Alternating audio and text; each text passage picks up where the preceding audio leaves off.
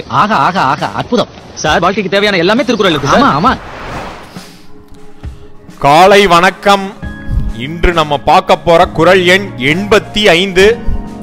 நேரா குரலுக்குள்ள போயிடலாம் வித்தும் இடல் வேண்டும் கொள்ளோ விருந்தோம்பி நிச்சில் மிசைவான் குளம். வித்தும் இடல் வேண்டும் கொள்ளோ விருந்தோம்பி மிச்சில் மிசைவான் புலம் இந்த குரலுக்கான விளக்கம். வித்தும் இடல் வேண்டும் கொள்ளோ விருந்தோம்பி. எப்படி குறிக்கிறாரு?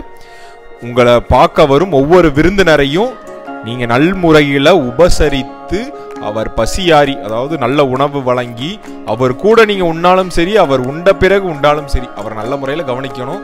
அப்படி கவனிக்கும் போது நீங்க நல்ல வரையில் ந- அவரை இன்முகத்தோட வரவேற்கிறீங்க கவனிக்கிறீங்க உபசரிக்கிறீங்க எல்லாமே அவர் நல்ல அதான் நம்ம விருந்தினரை எந்த அளவுக்கு நல்ல முறையில் ஹாஸ்பிட்டலைஸ் பண்ணணுமோ சாரி இங்கிலீஷ் டக்குன்னு வந்துருச்சு.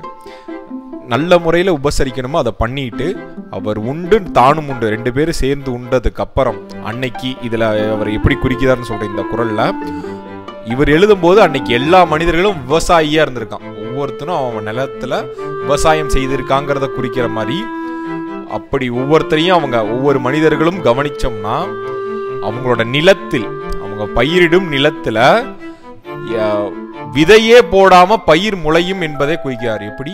நீங்க விருந்தினர்களை ஒவ்வொரு மனிதர்களையும் எப்படி உபசரிக்கிறீங்கிறத பொறுத்து உங்கள் நிலத்தில் பயிர் எந்த அளவுக்கு விதை போடாமலேயே முளைக்கும் என்பதை குறிக்கிறார்.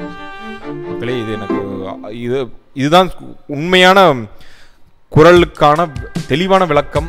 காரணம் என்னன்னா இவர் எழுதும் காலகட்டத்தில் எல்லாரும் விவசாயத்தை மட்டும்தான் சார்ந்திருந்திருக்காங்க. உணவு தான் மிக சிறந்த மருந்தாகவும் இருந்திருக்கு.